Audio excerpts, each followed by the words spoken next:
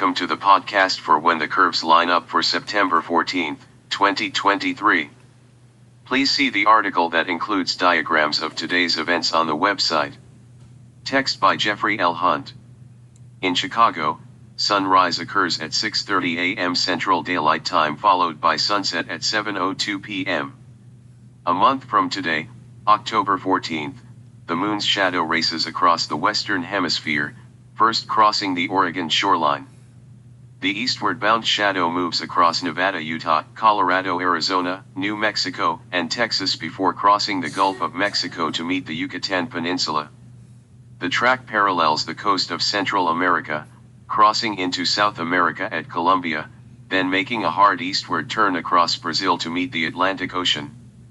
Sky watchers in the shadow's path see an annular eclipse, meaning ring, today commonly known as a ring of fire eclipse.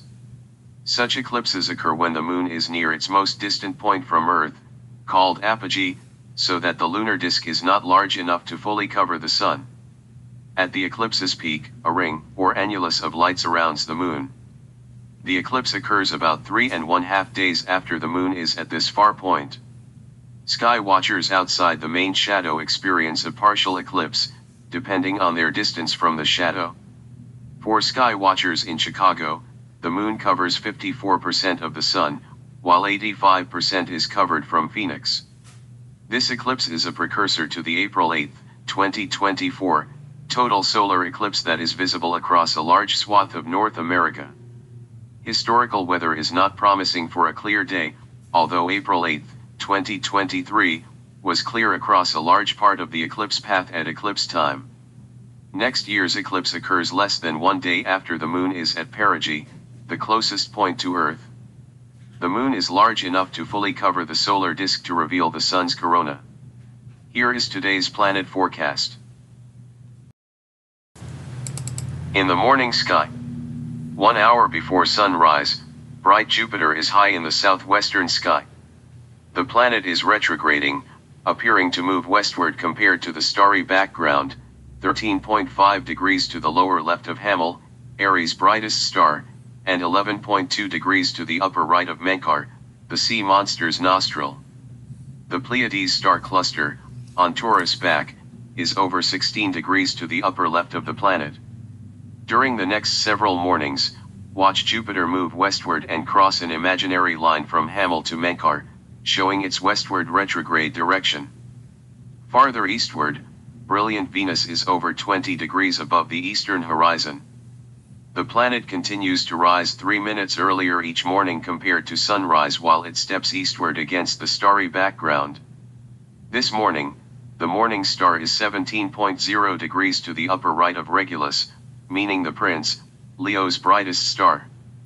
Venus and Sirius, over 40 degrees to the right of the planet in the southeast, are about the same altitude, height above the horizon.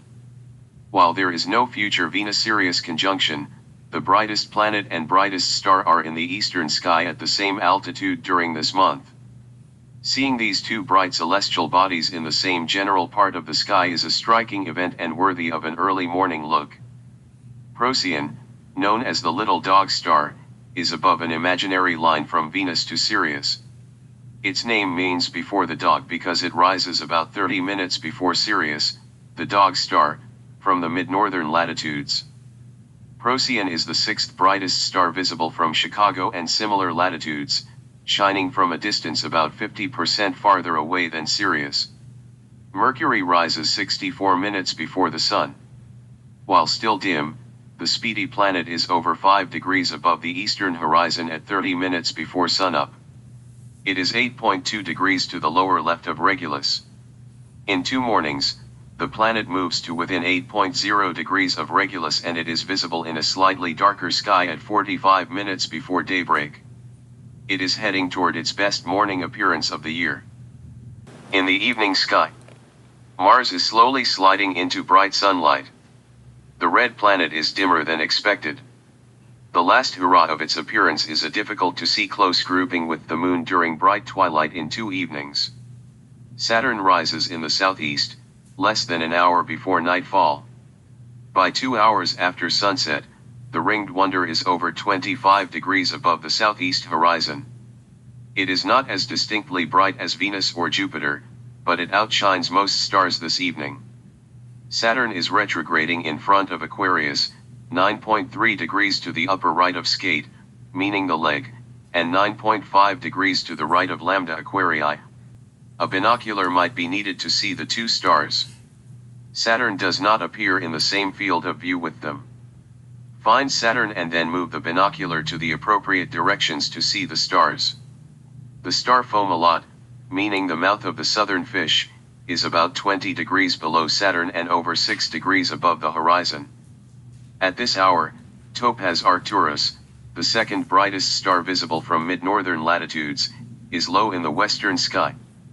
The star and its constellation, Boötes that resembles a kite, are celestial symbols that seasonal change is imminent when they appear at this location during the evenings.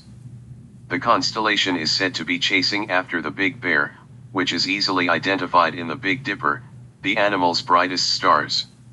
The curved handle seems to point in Arcturus direction.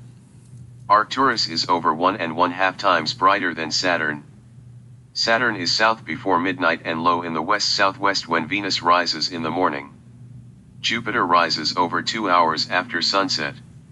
It crosses the south cardinal direction over two hours before sunup and it is in the southwest during morning twilight tomorrow.